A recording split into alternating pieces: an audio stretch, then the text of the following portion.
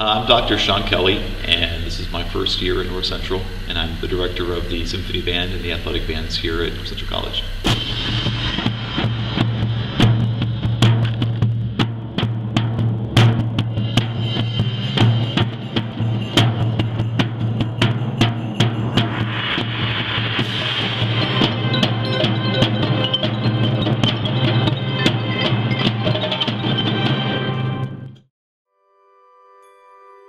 Symphony Band is uh, one of the largest ensembles in the music department and on campus, and it comprises winds and percussion instruments. Uh, we rehearse for two hours and 20 minutes a week.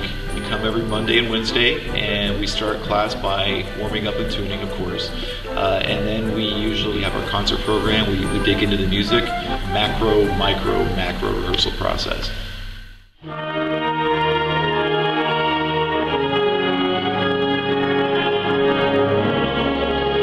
We do one major concert each term. We perform anything from the 1910s, back when the military bands were first starting, all the way up to music that was is written yesterday, basically. So pretty much anything and everything, as long as it's high quality and exciting, uh, and as long as it will reach the, the hearts and minds of our students and audience, we'll play it. Uh, my name is Shane Hoffman. I'm a senior in college, and I play the trumpet.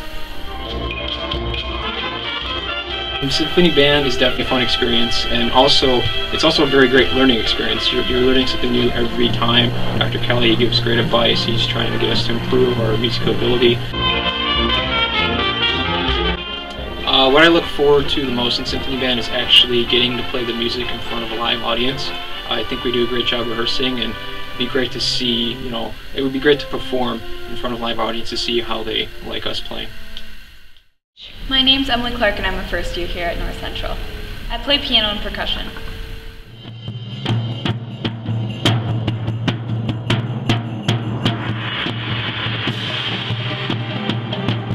I started piano when I was about seven, but I decided percussion actually because of my previous piano experience. I always felt like I had a leg up because I could read the notes on the xylophone and the bell set when I was little, and so I think that's what helped me decide. Um, symphony band is not actually that time consuming as a student. You go to band, which is only Monday, Wednesdays for about an hour and 10 minutes. And you do have to put in some practice time outside, but it's on like it's very manageable and it really it's delightful. If you play in the bands here, then we want to offer you a scholarship for doing so. Uh, and if you choose to accept the scholarship, then part of that is, uh, part of the requirement is that you take private lessons. So a good majority of our students do take lessons, but is it required? Absolutely not. Some important skills that I learned while in symphony band is uh, when I'm playing, I am able to hear whether or not I'm sharp, uh, sharp or flat, how my tone is. I'm able to hear that, and I also I also learned how to adjust to make my pitch sound perfect. I think in addition to my music ability, it also has taught me the importance of working together in groups to achieve higher results, better results. Um, I really believe that being a part of music for an extracurricular is beneficial to everybody. Music has so many benefits that I don't think are emphasized enough.